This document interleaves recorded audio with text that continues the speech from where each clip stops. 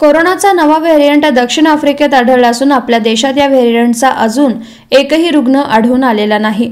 मात्र व्हेरियंट फारच धोकादायक असेल तर आफ्रिकेतून महाराष्ट्रात होणारी विमान वाहतूक रद्द करण्यात यावी मुंबई आयुक्तांच्या पत्रांसह केंद्राला विनंती करण्यात आली आहे, असं आरोग्यमंत्री राजेश टोपे यांनी स्पष्टीकरण दिलेलं आहे सध्या विमानतळावर बाहेरून येणाऱ्या रुग्णांचे मॉनिटरिंग होत असून स्वॅब टेस्टिंग आणि स्क्रीनिंगही सुरू आहे. प्रत्येक प्रवाशाला क्वारंटाईन करण्याचा नियमही लावण्यात आलाय.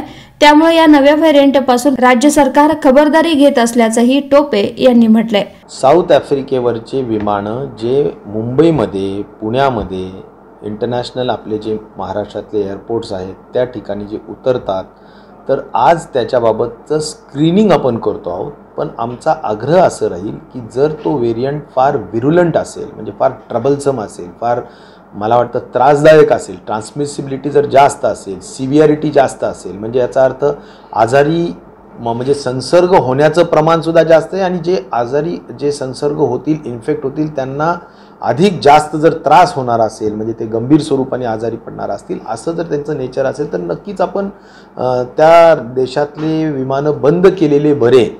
असं म्हणजे जे चहलचं माझं आमची जी चर्चा झाली त्यावरून आम्हाला वाटलं.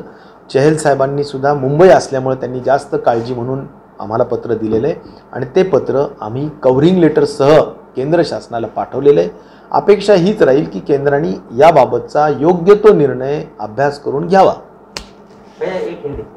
Bureau report SBN Marathi.